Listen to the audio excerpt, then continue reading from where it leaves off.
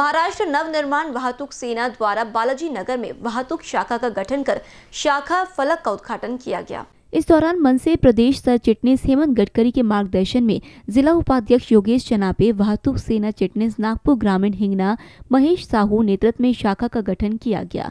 मुकेश देवगढ़े तालुका संगठक, वैभव मुले, नीलिनेश्वर भोयर, श्रीकांत बूधे, दीपक तनमने, कमलेश बोरकर मौजूद थे। वहीं शाखा अध्यक्ष नीलेश इंगले, शाखा उपाध्यक्ष अर्जुन सिंह, कोषाध्यक्ष विक्की परमानंद, सचिव संजय कश्यप, सह सचिव अरुण सिंह, सलाहकार अशोक गणवीर शेषराव जी धोटे किशोर जाधव की पद पर नियुक्ति हुई है। यशवंत वैद देवानंद राउत, सुमित तिवारी, अजय कश्यप, राहुल शाह, अनिल बोपची, संदीप जाधव, नारायण परमानंद, प्रमोद सिंह, केशव झा इनके अथक परिश्रम से कार्यक्रम सफल हुआ।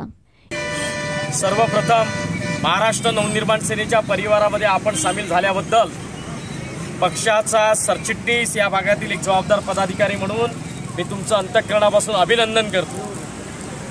शिवसेनेक पक्षाचे अध्यक्ष आदरणीय राजसाहेब ठाकरे यांच्या विकासरूपी नवनिर्माणाच्या विचाराचा स्वीकार करून असंख्य लोक या उपराजधानी नागपूरचे आणि या नागपूर ग्रामीण भागातील हे महाराष्ट्र नवनिर्माण सेनेच्या पक्षामध्ये महाराष्ट्र नवनिर्माण सेनेमध्ये प्रवेश करतायत.